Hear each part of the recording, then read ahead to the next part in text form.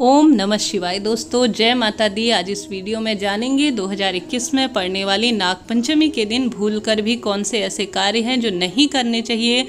अशुभ फल मिलता है इनका, जैसे कि नाग पंचमी इस बार शुक्रवार के दिन मनाई जा रही है। तेरह अगस्त उस दिन रहेगा। नाग पंचमी के दिन भगवान शिव और उनके गण नागों की पूजा का दिन माना जाता है। वेद शास्त्रों में भी इस दिन का बड़ा महत्व बताया गया है। बताया जाता है कि नाग पंचमी के दिन भगवान आशुतोष का रुद्राभिषेक करने से कई संकट कट जाते हैं लेकिन इस दिन कुछ बातें विशेष रूप से आपको ध्यान में रखनी चाहिए, जो कार्य आपको बिल्कुल भी इस दिन नहीं करने चाहिए कहा जाता है। भगवान नाग देवता इससे नाराज़ हो जाते हैं।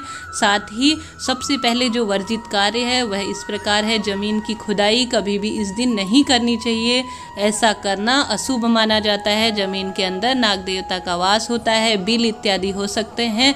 और कहानी में भी जैसा वर्णित है, इस दिन पूर्ण रूप से ज़मीन की खुदाई और साथ ही हल जोतना वर्जित माना गया है। वही नागपंचमी के दिन पूर्ण रूप से यह भी माना जाता है कि सुई में धागा इत्यादि नहीं डालना चाहिए। अशुभ माना जाता है। हाँ जिसका सिलाई का काम है, का, जैसे कि कहा जाता है, कर्म ही पूजा है, वह कार्य कर सकता है। परंतु आप जिनके, जो घर पर महिलाएँ, विशेष रूप से इस बात का ध्यान रखें कि वह इस दिन विशेष रूप से इस कार्य को नहीं करें कि सिलाई, कढ़ाई इत्यादि का कार्य कर दिया। इसके पश्चात इस दिन आग पर तवा और लोहे की कढ़ाई और कांसे के बर्तनों में खाना भी पूर्ण रूप से वर्जित माना गया है। साथ ही अगर आप इस दिन व्रत करते हैं तो दिन में सोना पूर्ण रूप से वर्जित माना गया है नागपंचमी के दिन।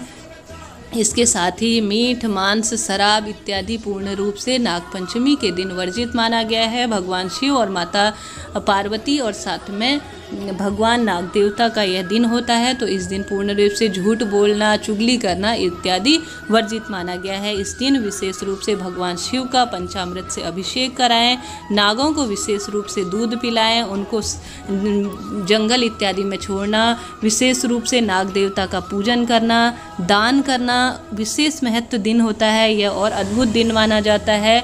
इस दिन आपको विशेष रूप से नाग देवता की पूजा अर्चना करनी चाहिए, उनको बचाने का जहाँ तक संभव हो सके प्रयास करना चाहिए।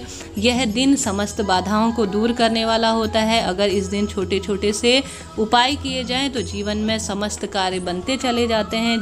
शिव पुराण में वर्णित यह मंत्र, आप नागपंचमी के दिन किसी मंदिर में बैठकर या घर के मंदिर में एक माला या अपनी इच्छा अनुसार जितना आपसे हो पाए, इस माला का जाप अवश्य करें। वह मंत्र है, ओम नवकुलाय विद्महि विषदंताय धीमहि तन्नो सर्प प्रचोदयात। यह मंत्र अपने आप में अद्भुत होता है, जो भी जातक सच्चे मन से इस मंत्र का जाप करते हैं। भगवान शंकर, साथ में नाग देवता उसके समस्त जीवन के कष्टों का हरण कर लेते हैं। साथ ही, जो भी उसके जीवन की इच्छा हो, वह अवश्य पूर्ण करते हैं। नागपंचमी के दिन आप नहा धोकर ज़रूर इस मंत्र का एक बार, एक माला अवश्य फेरें।